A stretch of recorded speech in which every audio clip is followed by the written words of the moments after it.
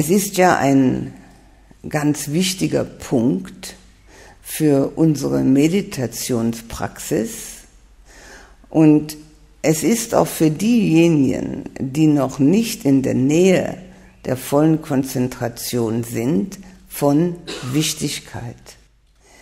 Und darum von Wichtigkeit, weil man wenigstens weiß, wo der Weg hinführt.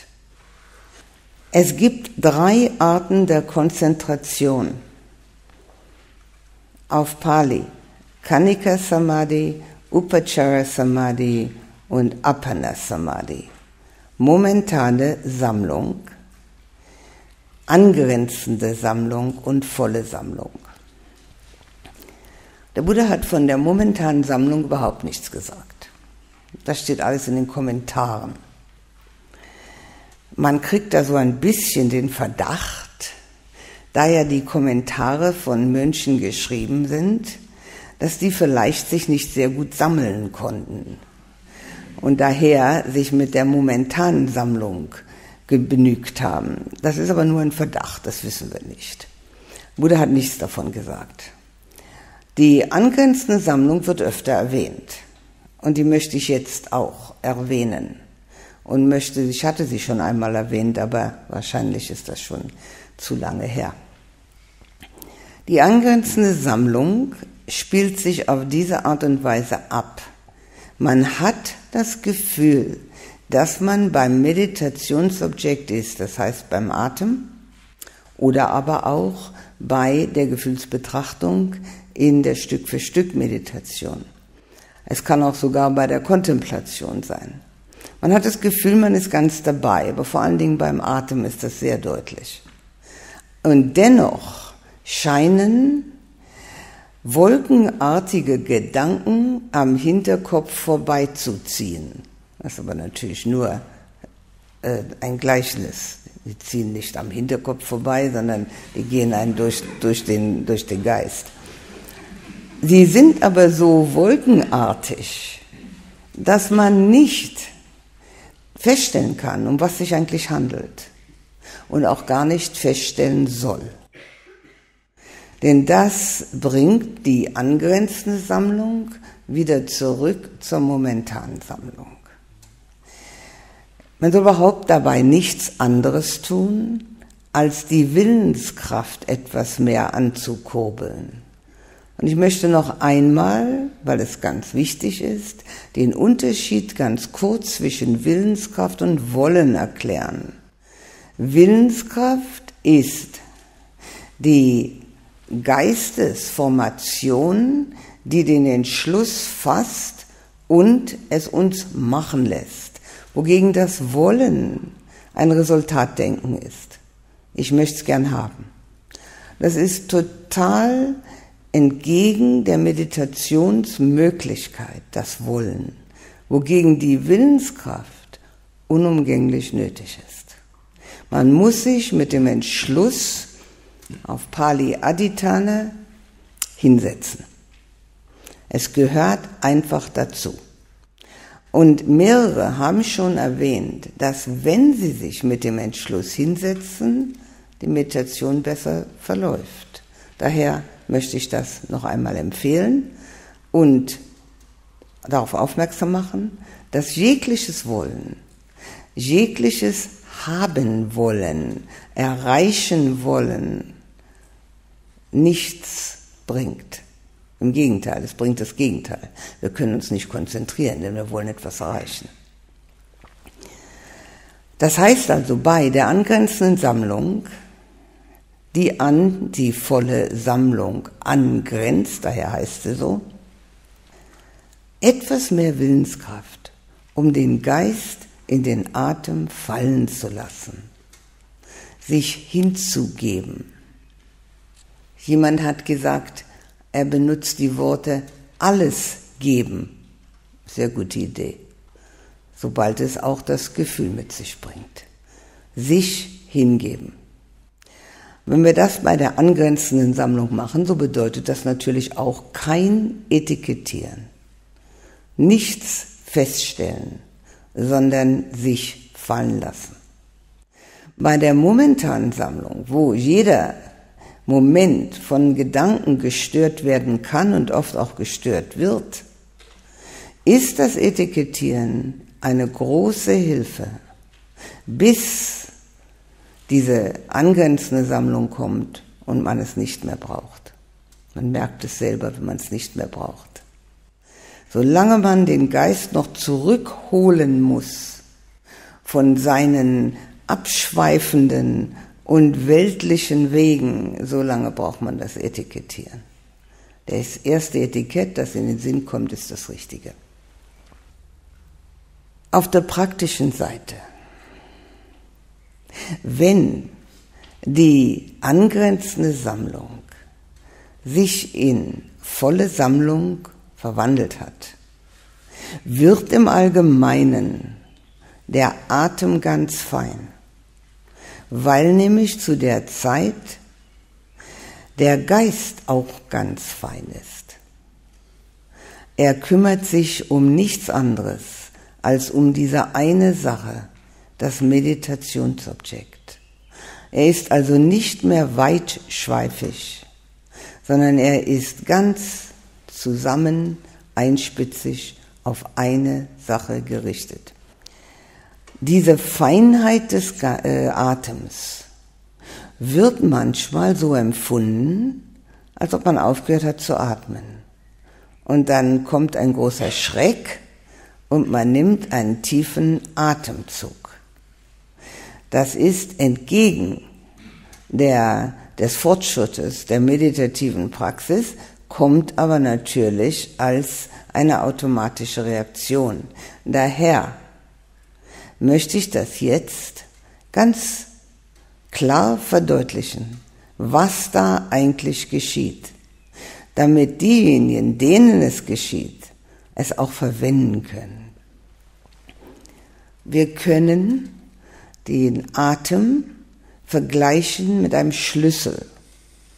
Wenn wir einen Schlüssel in ein Schlüsselloch stecken wollen, so müssen wir ihn lange genug und fest genug in der Hand haben, um das Schlüsselloch zu treffen. So ist die Betrachtung des Atems. Das ist Methode, das ist Schlüssel.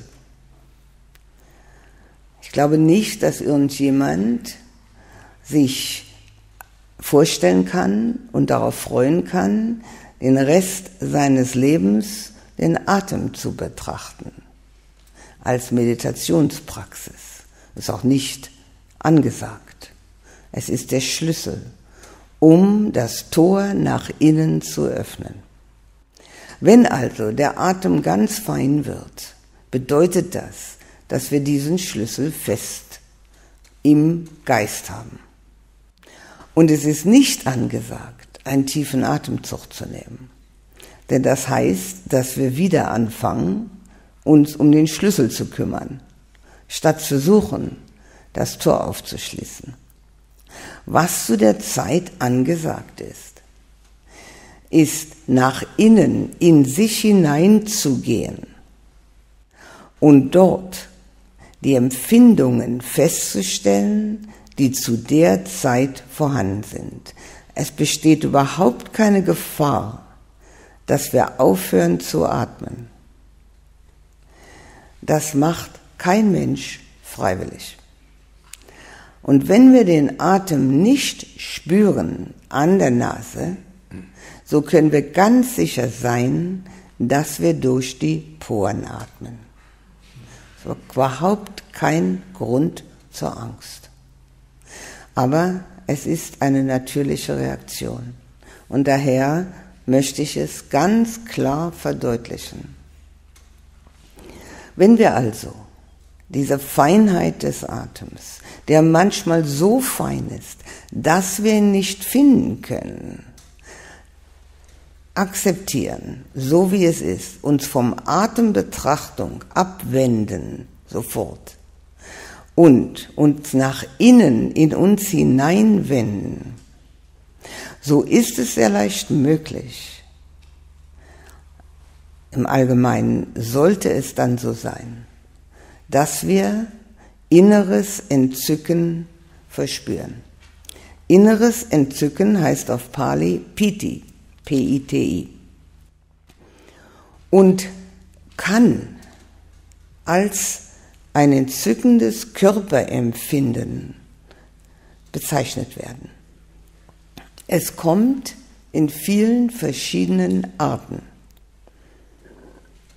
In den Kommentaren sind 17 verschiedene Arten beschrieben. Es gibt bestimmt noch viel mehr. Die häufigsten sind ein Gefühl der Leichtigkeit. Der Körper hat sein Schwergewicht verloren. Ein Gefühl des Schwebens. Keiner schwebt. Das ist nur ein Gefühl. Es ist sogar manchmal, kann man beobachten, wenn man gerade da zu beobachten die Zeit hat, dass Menschen gucken, ob sie wirklich noch da unten sitzen. Garantiert. Ganz garantiert sitzt man noch auf dem Kissen. Aber es ist ein Gefühl des Sich-Erhebens, das alles. Es kann ein Gefühl der inneren Wärme sein, ein Gefühl des Verlierens der Körpergrenzen, sich auflösen. Es kann ein Gefühl des einer Vibration, die durch den ganzen Körper geht, sein. Aber alle, was immer es ist, sind entzückend. Und daher braucht man niemanden zu fragen, war das die richtige Empfindung? Wenn sie ganz entzückend ist, dann ist sie die richtige Empfindung gewesen. Und die ich eben erwähnt habe, sind die häufigsten. Es gibt noch andere, die auch dabei vorkommen. Es ist auch ein Gefühl des Wohlbefindens, äußerstes Wohlbefinden. Was immer es ist, es können mehrere sein. Man nimmt das, was am stärksten kommt und benutzt es als Meditationsobjekt. Darauf die Achtsamkeit richten. Wenn das nun zum ersten Mal passiert, so ist die Reaktion meistens so, ach, was war denn das? Das war ja interessant. Und natürlich hat es sofort aufgehört. Wieder machen. Dann bleibt ihm ja nichts anderes übrig. Und so oft wieder machen, bis der Geist nicht mehr dieses Kommentar abgibt, sondern bereit ist, sich damit zu beschäftigen. Das geht sehr schnell. Man ist immer bereit, sich mit etwas Entzückendem zu beschäftigen. Es ist nur das erste oder zweite Mal, dass er dieses Kommentar von sich gibt. Dazu gehören aber verschiedene Vorsichtsmaßregeln. Wenn es einmal ganz kurzfristig hochkommt und man sich dann schön wieder hinsetzt und es wieder machen will, auf keinen Fall dieses Entzücken suchen. Das gibt es nicht zu suchen. Wir haben es immer in uns. Es ist nur das Tor verschüttet. Das Tor nach innen ist verschüttet durch unsere Gedanken und Reaktionen. Vor allen Dingen durch unsere Negativitäten aber auch allein schon durch Gedanken. Wir haben dieses Empfinden als ein Teil unserer selbst. Das heißt also, wir brauchen überhaupt nicht zu suchen. Wir brauchen nur alles andere loszulassen. Und ich habe dieses Wort loslassen schon so oft verwendet in diesem Kurs, dass es vielleicht schon etwas langweilig wird, das zu hören. Aber es gibt keine Wahl. Loslassen ist das Einzige, was wir machen können.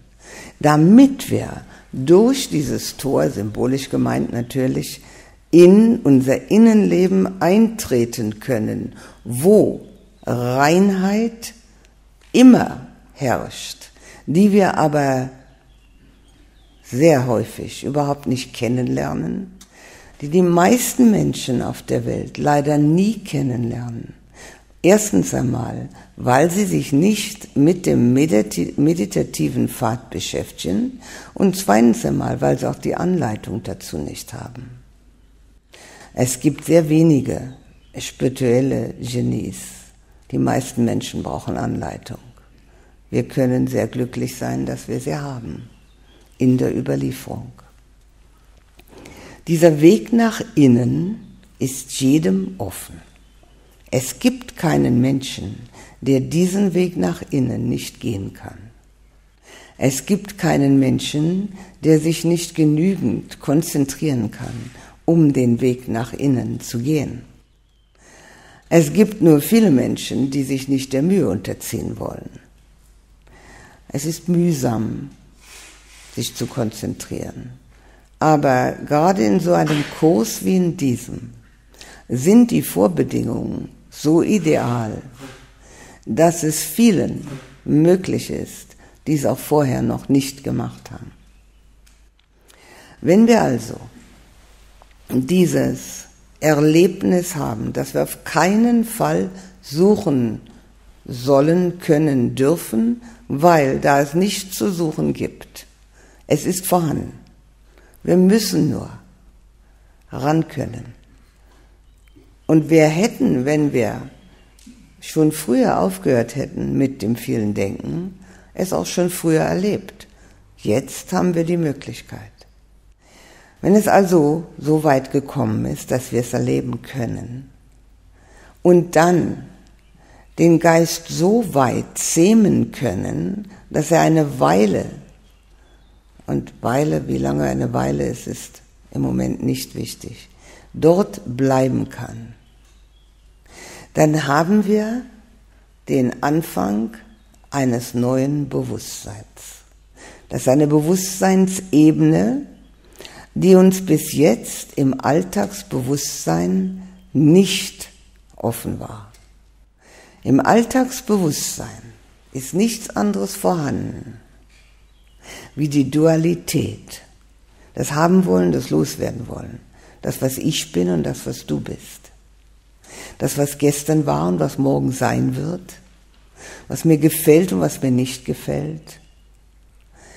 Und wie ich auf all das reagiere.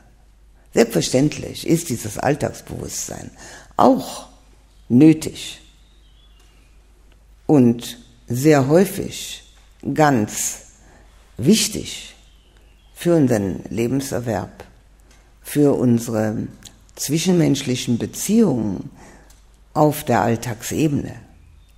Aber wenn wir uns damit begnügen, mit diesem Alltagsbewusstsein, dann haben wir das Schönste und weitgehendste das Potenzial eines Menschen verpasst. Wir haben etwas ganz anderes in uns. Und jeder, der es schon erlebt hat und es weiter erlebt, und das ist nur der erste Schritt, den ich da erkläre, weiß, dass sich dadurch seine Einstellung zum Leben, zur Welt und zu sich selbst geändert hat. Es muss sich ändern. Es kann nicht dasselbe bleiben.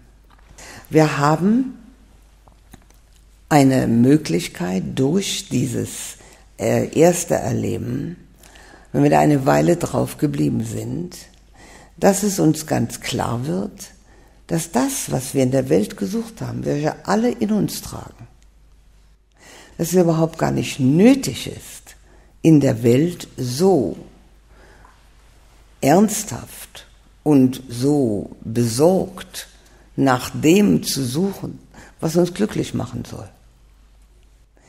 Denn selbst dieser erste Schritt, und es gibt acht, acht von diesen Vertiefungen, die auf Pali Jhana heißen, J-H-A-N-A, ist nur der erste. Selbst dieser erste Schritt zeigt uns schon, dass das, was wir in der Welt durch die Sinne bekommen haben, wohl auch oft erfreulich war und doch sein soll. aber unvergleichlich mit dem, was wir sowieso in uns tragen. Aber nicht nur das. Das, was wir durch die Sinne bekommen, ist abhängig. Abhängig von dem, was wir sehen und hören, riechen, schmecken, berühren, denken. Wir sind in einem Abhängigkeitsverhältnis, dass das, was auf uns zukommt, durch die Sinne uns auch erfreuen wird. Ein Abhängigkeitsverhältnis ist Unfreiheit. Der Buddha hat uns Freiheit versprochen. Hier haben wir zwar nicht ein Erlebnis, das überhaupt keine Bedingungen hat, aber auf jeden Fall ist es nicht von außen abhängig. Es ist von innen abhängig, von unserer Konzentration. Das ist die einzige Abhängigkeit, die dabei überhaupt mitspielt. Wir sind also frei in dem Moment von dem, was wir in der Welt haben können und suchen. Das bringt eine Änderung unserer Prioritäten mit sich. Sobald wir erlebt haben, und das ist ein wichtiger Punkt, sobald wir erlebt haben, dass wir ohne unsere Sinneskontakte, das heißt ohne Hören, ohne Sehen, ohne Riechen, ohne Schmecken, ohne Berühren und ohne Denken, ein inneres Entzücken erleben können, dann wird uns ganz klar, und es gibt wohl keinen, dem das nicht so, sofort klar ist, dass wir nicht die Annehmlichkeiten durch die Sinne so dringend mehr zu suchen brauchen. Sie existieren und sie kommen auf uns zu und wir werden auch, wenn wir dieses Erleben haben, dankbar sein dafür. Die meisten Menschen sind überhaupt nicht dankbar für ihre angenehmen Sinneskontakte. Die schimpfen, wenn sie sie nicht haben.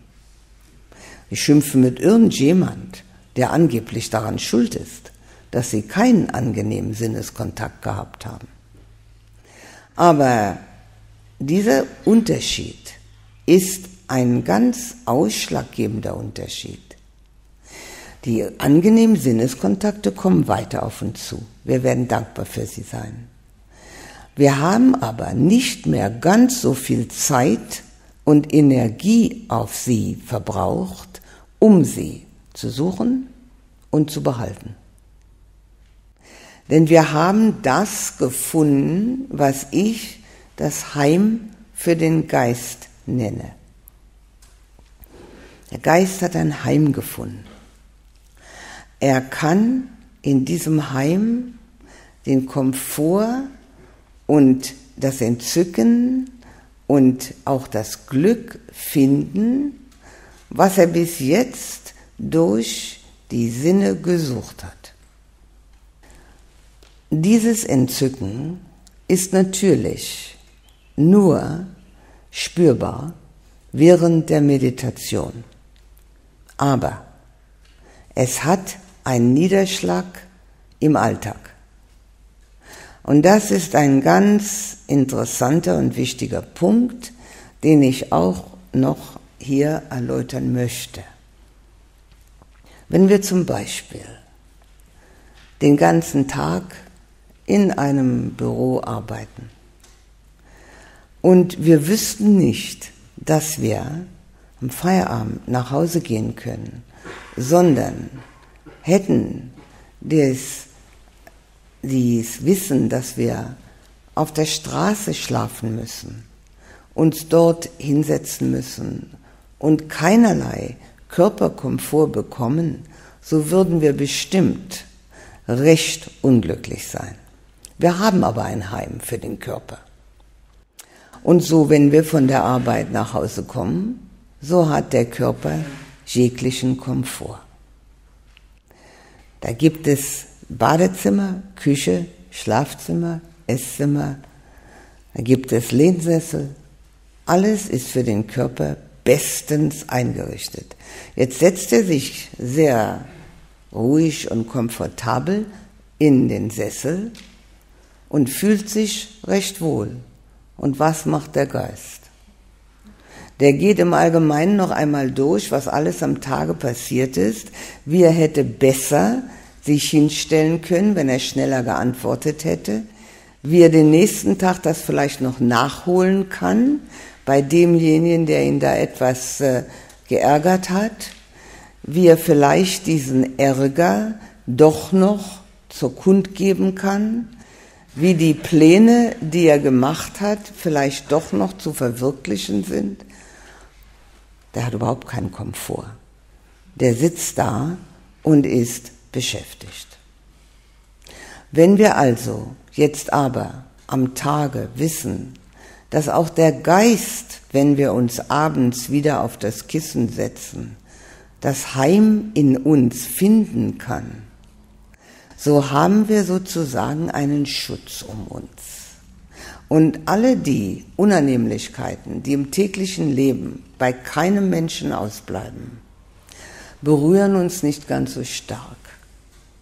Wir sind sozusagen etwas geschützt, weil wir wissen, wir können dem Geist den Komfort wiedergeben, den er die ganze Zeit eigentlich, unser ganzes Leben lang schon gesucht hat.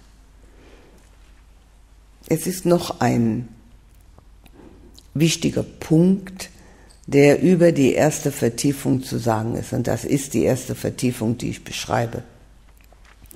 Die erste Jhana. Sie besteht aus fünf Faktoren. Davon sind drei Faktoren bei jeder Meditation vorhanden. Und ich möchte sie darum besonders betonen. Denn diese drei Faktoren, die bei jeder Meditation vorhanden sind, sind ja auch vorhanden, selbst wenn die Konzentration nicht sehr einspitzig, nicht sehr erfolgreich ist. Der erste Faktor heißt auf Pali Vitaka und ist das anfängliche Hinwenden zum Meditationsobjekt. Dieses anfängliche Hinwenden zum Meditationsobjekt hat ein ganz bestimmtes Resultat. Es arbeitet gegen unsere Lässigkeit und Trägheit des Geistes. Es ist sozusagen das Gegenmittel. Und jedes Mal, wenn wir uns hinwenden, arbeiten wir gegen die Lässigkeit und Trägheit des Geistes. Die Lässigkeit und Trägheit des Geistes ist vom Buddha verglichen worden mit dem Gefängnissein. Lässigkeit und Trägheit des Geistes zeigt sich darin, dass wir auf morgen verschieben, was wir heute tun könnten, dass wir an die Zukunft denken, statt im Jetzt zu sein, Lässigkeit und Trägheit des Geistes ist, dass wir dem Geist erlauben, alles zu tun, was er gern möchte, ihn aber nicht zähmen. All das wird entgegengearbeitet durch dieses anfängliche Hinwenden. Bei jeder Meditation. Das zweite heißt Vichara. Und das ist das dauernde Hinwenden zum Meditationsobjekt. Es wird verglichen mit dem Anschlagen des Gongs und der fortwährenden Vibration des Gongs, wie zum Beispiel hier. Das Anschlagen ist das Anfängliche. Und die Vibration, die wir weiter hören, das Dauernde. Die dauernde Hinwendung zum Meditationsobjekt. Das hat einen ganz einschlagenden Effekt auf uns. Nämlich, wenn wir wirklich auf dem Atem bleiben können, einige Zeit, dann legt sich sehr viel von unserem skeptischen Zweifel.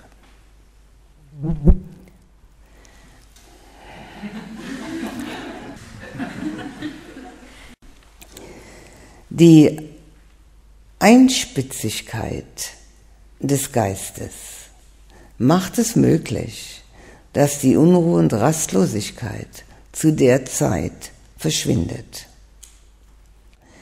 Die Einspitzigkeit des Geistes ist etwas, was bei jeder Meditation nötig ist. Das heißt, auch wenn es nur momentan ist, wenn es nur eine Sekunde ist, so muss der Geist da drauf bleiben. Und diese Einspitzigkeit ist das, was ich bereits erklärt habe, das Anspitzen eines äh, Bleistifts. Der Buddha hat es mit dem Schärfen einer Axt verglichen. Eine geschärfte Axt schneidet selbst durch dickes Holz wie Butter. Eine ungeschärfte Axt ist sogar ein gefährliches Instrument und macht die Arbeit äußerst schwer. Ein geschärfter Geist ist ein Geist, der die Illusionen durchschneidet,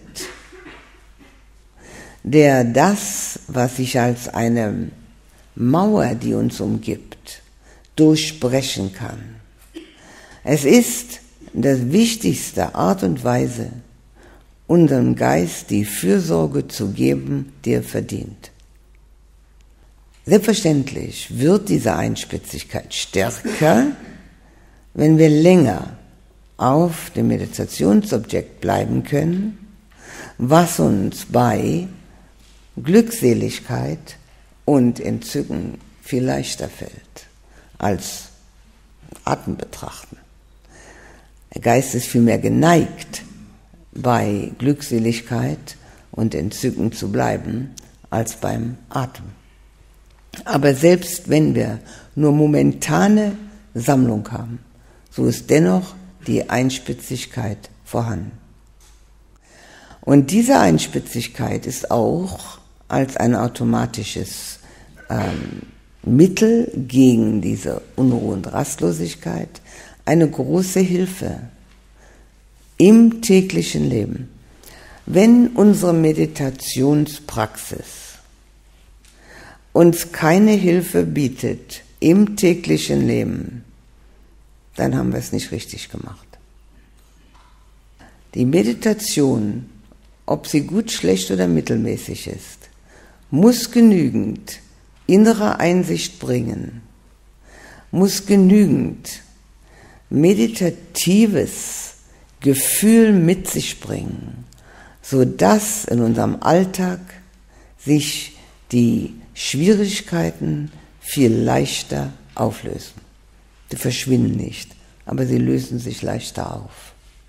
Wir werden mit ihnen viel leichter fertig. Um diese Glückseligkeit noch einmal in Kontext zu bringen, in den richtigen Rahmen zu setzen, sie ist emotionell. Und beides, sowohl das Entzücken wie auch die Glückseligkeit, haben vor allen Dingen am Anfang etwas Erregung in sich. Vor allen Dingen dieses Entzücken. Das hat noch ein gewisses Gefühl, als ob es hier oben irgendwo stattfindet. Ist natürlich nur ein Gefühl ist und keine Tatsache. Und dass es sich hier abspielt, ist auch, und weil es auch wahrscheinlich neu ist, etwas erregend. Genauso ist es mit der Glückseligkeit. Auch das ist noch etwas erregend. Der nächste Schritt ist das Loslassen, das Fallenlassen des entzückenden Empfindens. Es geht dabei in den Hintergrund des Bewusstseins. Und die Glückseligkeit kommt in den Vordergrund und wird das Meditationsobjekt. Und das ist die zweite Vertiefung. Und wenn die Glückseligkeit das Meditationsobjekt ist, so ist dabei das anfängliche Hinwenden zum Meditationsobjekt verschwunden und zu der Zeit sollte auch das dauernde Hinwenden automatisch sein. Es ist also nötig, erst einmal den ersten Schritt so zu verankern, dass er selbstverständlich ist. Dazu sind drei Dinge nötig. Und die werde ich auch noch jetzt erklären. Wenn das entzückende Empfinden gekommen ist und wir können es eine Weile halten, und dann ist entweder die Meditationszeit zu Ende oder die Konzentration ist total zu Ende. Bevor man die Augen aufmacht, sind drei Dinge zu tun. Das erste ist, rekapitulieren, was man getan hat, um diesen Schritt zu ermöglichen. Es kann sein, dass man anders gesessen hat, anders gedacht, sich anders vorbereitet, was immer es sei, sich an alles erinnern.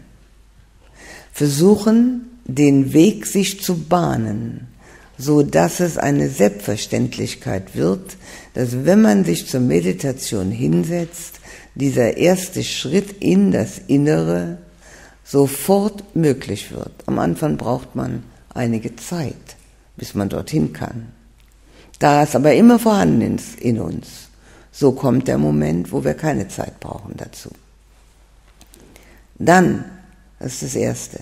Das Zweite ist, zu wissen, obwohl das sehr schön war, so ist auch das vergänglich.